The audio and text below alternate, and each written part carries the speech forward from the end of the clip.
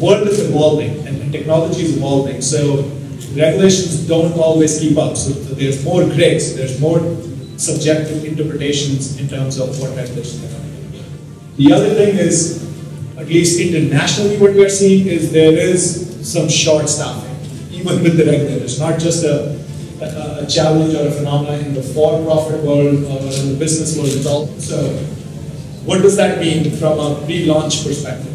What that means is, whatever timeline that you're setting for yourself to open new offices or establish new businesses, double it. To double that time frame. That's where we are right now. That's what we are experiencing, experiencing ourselves. That's what we are seeing with our clients. Uh, so then when you look at post-launch uh, in terms of regulations is there are two things that are pretty much at the forefront. The first one is data protection. And GDPR is a classic example from a European standpoint where you host your data, who has access to it, has a lot of implications from, from a regulation perspective. You know? so, so protecting that data is becoming very critical. And the second thing uh, that is at the forefront is cyber, cyber liability in terms of cyber events that are impacting businesses. So those two things uh, from a post-launch perspective is what we see data protection is at the forefront. That's something everybody needs to, you know, handle it very carefully and at the same time make sure your systems are strong enough to handle cyber events. But there is a distinction between political risk and political violence.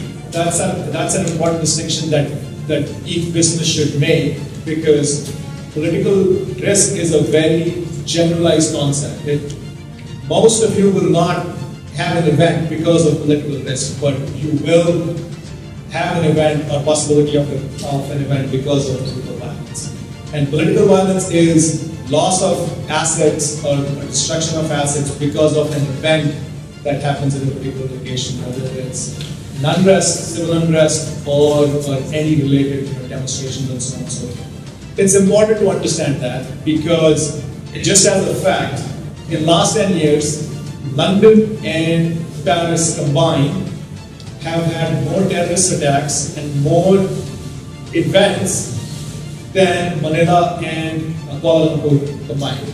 You would think, you know, Europe is safer than Asia in general. So one trend that we are also seeing is as more and more demonstrations are happening around the world, that targeting American businesses to get more visibility.